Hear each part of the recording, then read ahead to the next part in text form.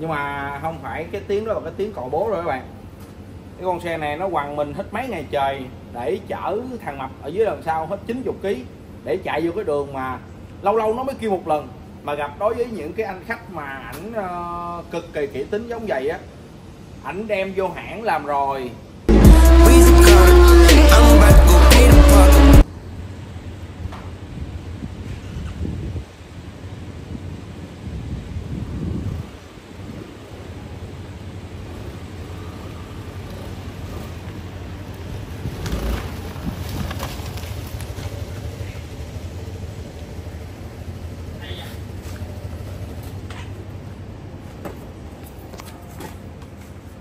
Forza. Con này là con Forza 300 mấy bạn? Đúng rồi. Forza 300 một trong những con xe mơ ước cho những anh em biker mà chuẩn bị tuổi xế chiều. Ví dụ giống như mình đi năm nay mình gần 40 tuổi. Và để mà ước mơ có mỗi con xe tay ga mà để ờ, đi những cái tour phượt xa xa. Ít mắt à, CX 400 Forza 350 à, Forza 300 X ADV 350 những cái con đó là một trong những cái con xe mấy bạn có thể uh, chở uh, vợ con đi những cái tour mà rơi vào khoảng tầm 4 500 cây quay đầu. Nhẹ nhàng tình cảm không có gì phải bàn nhưng mà cái mức giá vẫn là một trong những cái tiêu chí hàng đầu để anh em lựa chọn.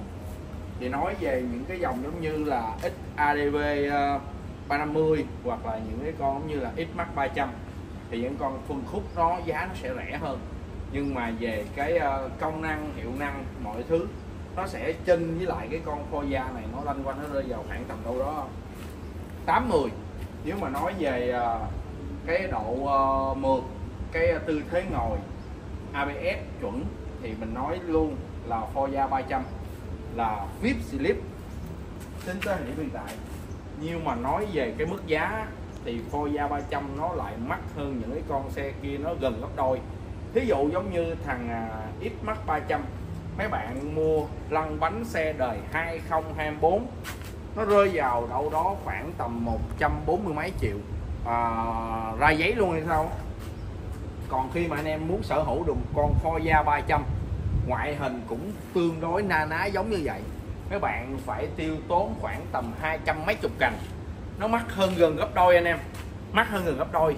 Nếu mà nói mà để trải nghiệm về giữa Xmax 300 với lại thằng Forza 300 á mình nghĩ thằng Forza 300 tư thế ngồi ổn hơn Xmax 300 tí xíu. À, cái nước ga nó mượt hơn 300 tí xíu.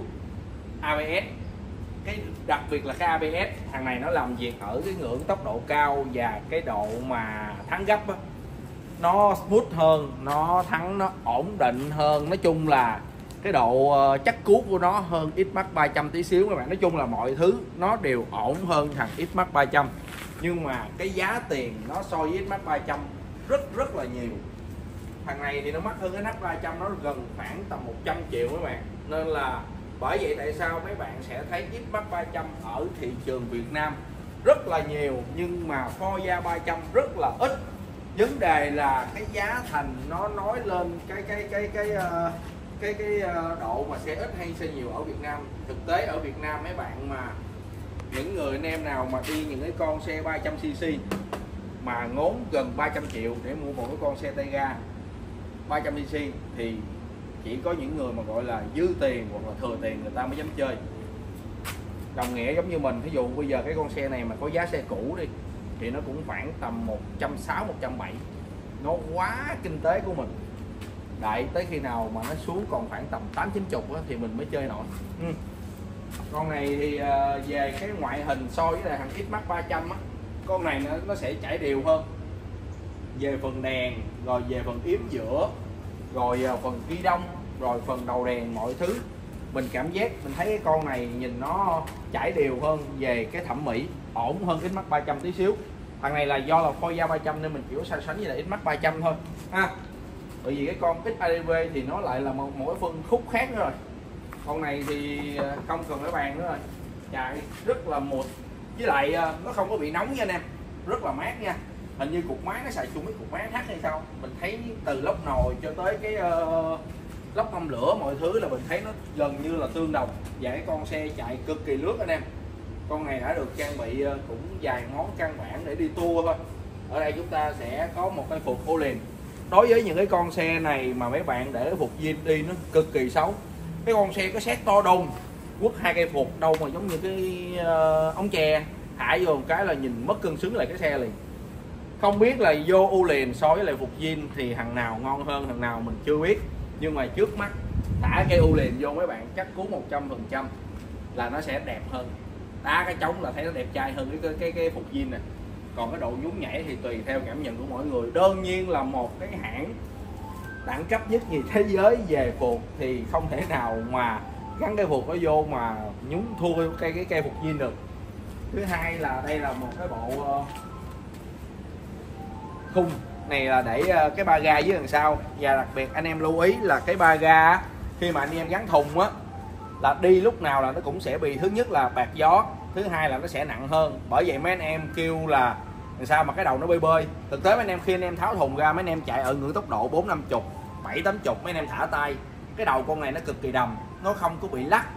Khi mà anh em gắn thùng vô, mấy anh em thả tay á, là cái đầu nó hơi trao. Do là thứ nhất là cái đuôi nó sẽ bị nặng, nó sẽ lơi cái đầu nhẹ. Và cái thứ hai á, là nó sẽ bị bạc gió nó bị cản gió, đâm ra là cái đầu anh em nó sẽ bơi, còn anh em tháo cái thùng ra là nó không có bị ha. Ở trên đây thì chúng ta sẽ có thằng à, khung chống đổ của Witech bên cạnh đó thì à, có một cái set đèn à, đi phượt trên dưới. Thì thằng này thì cỡ như bốn bóng này là mấy bạn đi, có nghĩa là xúc chỉ ở mặt trời rồi không gì để bàn nữa. Ừ. với lại mấy cái con xe này các bạn không có chạy tốc độ quá cao với bốn bóng này thì các bạn chạy gọi là mắc kêu rồi. Ha à. này thì uh, ảnh đã ship về được cái kính đồ chơi rồi. Thì một tí nữa mình giao xe ra ngoài chảnh rồi mình thay chảnh cái kính đồ chơi luôn. Cái kính này hiện tại là ảnh đang dán màu khói. Kính zin của nó là cái kính màu trắng. Rồi bên đây thì mình có sẽ có một cái uh, đồng hồ đo áp suất lớp của Chigi. Hồi trước là sẽ móc trên đây nè. Nhưng mà anh nói là móc trên đây thì sợ người ta lấy bây giờ có cách nào mà mình bắt ốc cho nó chết luôn thì mình phải ờ, ra ngoài HT camera mình mua một cái bát ngàm của Google á mình thả mình tiện một cái uh, sơ mi thả vào trong cái bát uh, móc đồ ở đây bắt chết vô đây chảnh luôn ừ. rồi bên quanh là đặc biệt cái con xe này mình có làm một cái phần cho ảnh đó là cái phần uh, anh em nào đã từng đi Forza 300 anh em sẽ lâu lâu anh em vô đường dằn hoặc là anh em vô uh, chở nặng hoặc là anh em vô đường vắng mấy anh em sẽ nghe được cái tiếng rẹt rẹt rẹt ở dưới đằng sau. Do là cái con phôi dao hoa dâm này rất là nhiều xe bị rồi.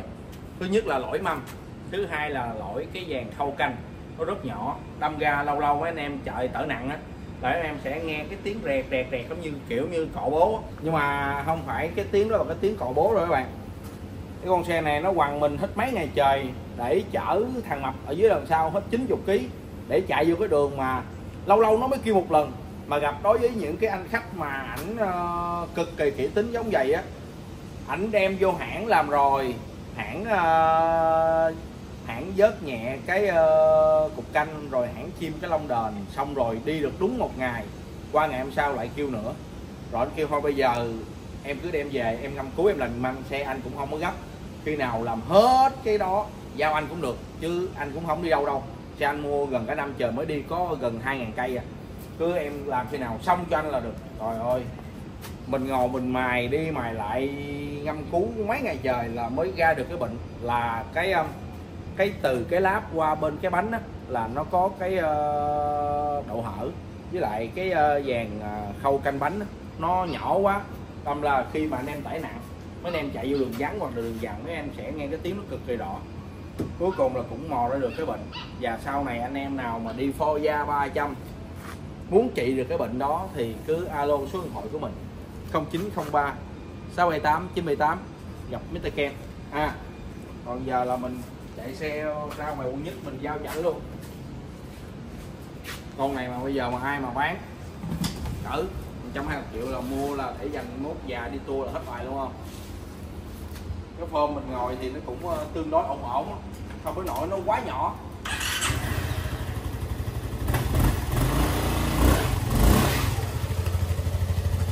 Con này thì chạy lên khoảng tầm uh, trăm một trăm hai khỏe luôn. Nhẹ nhàng tình cảm. Và tư thế ngồi của nó nó cũng khỏe hơn ta nữa chẳng qua là đi ờ, đi trong phố á, thì cái xét nó bự quá. Đâm ra anh em chở vợ con đồ mà đi trong hẻm rồi nọ nó hơi khó chịu thôi. Cái con xe này nó thiết kế ra chủ yếu là để anh em đi tour đường dài để đi phượt chứ không phải để anh em đi chợ búa ở trong hẻm trong xóm của Sài Gòn. Ừ. còn này mà anh em mà đi ờ, mấy tour ngắn ngắn như Hồ Cốc, Hồ Tràm, Phan Thiết chạy nó mực tựa Long Hồng